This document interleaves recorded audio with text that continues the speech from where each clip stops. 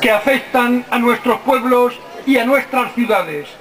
Y os diré que comparto con vosotros y con vosotras la preocupación del nuevo itinerario del AVE y que voy a colaborar con Antonio, con su corporación municipal y con todo el pueblo para conseguir que vaya por detrás de las lagunas evitando esa barrera.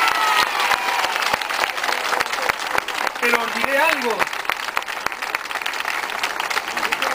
Os diré algo porque mi obligación siempre es decir la verdad y no hacer demagogia. Esa decisión, como sabéis, no depende de mi gobierno. Si dependiera de mi gobierno ya estaba tomada. Hemos hecho alegaciones y estamos haciendo gestiones para conseguirlo, pero no depende de nosotros.